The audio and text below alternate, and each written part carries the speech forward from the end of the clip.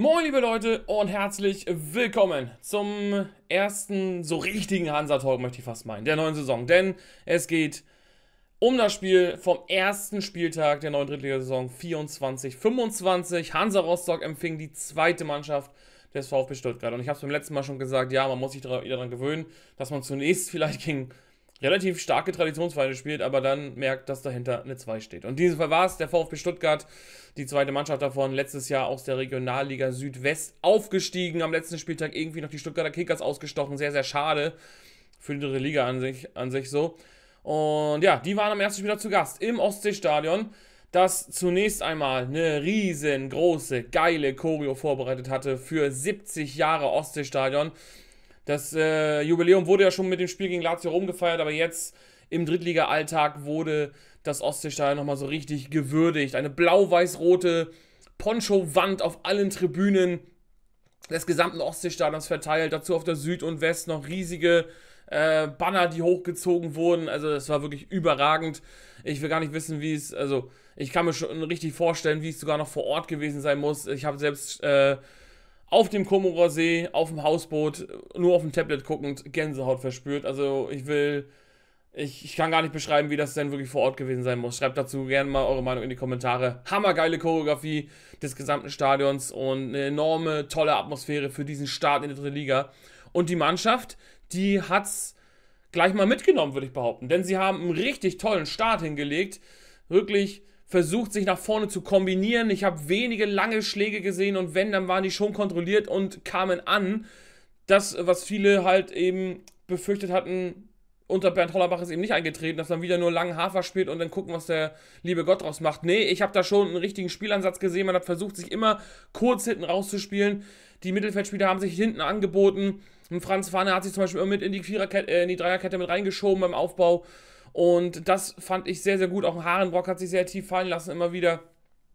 Das sah, finde ich, sehr gut aus. Und apropos Franz Pfanne, der ist tatsächlich unser neuer Kapitän.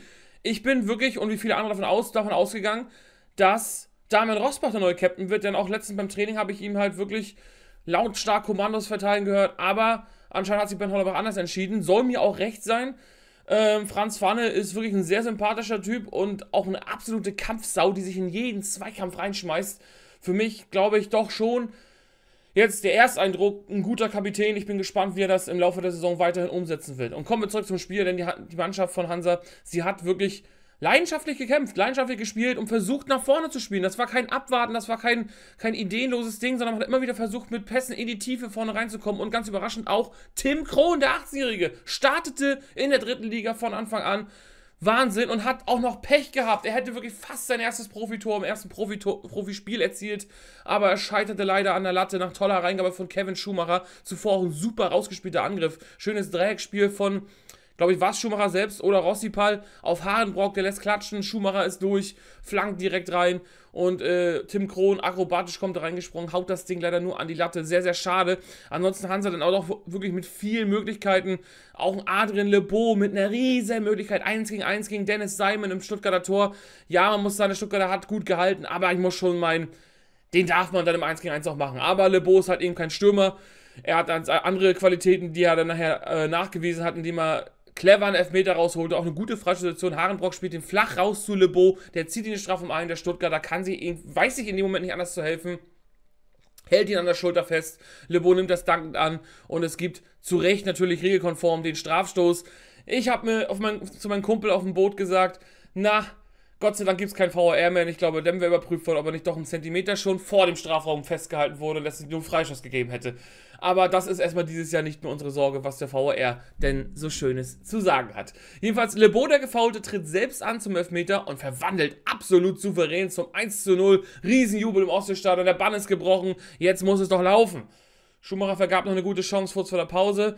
Zweite Halbzeit, gleiches Bild. Hansa versucht energisch nach vorne zu gehen. Neidhardt liegt toll ab. Lebo mit dem nächsten Schlenzer geht aber doch einen halben Meter am linken oberen Winkel vorbei und dann irgendwie wird man zu passiv. Klar, auch Ben Hollerbach hat es gesagt, diese, diese Spielweise hat sehr viele Körner gekostet. Natürlich kann man das nicht 90 Minuten Dauerdruck durchziehen, aber dann muss man eben konzentriert in der Defensive stehen. Und das ist nicht passiert. Das hat der VfB Stuttgart mit seiner quasi einzigen Torchance genutzt. Gut, eine hatten sie auch noch in der ersten Halbzeit, wo sie Hunter, Hansa ausgekontert haben.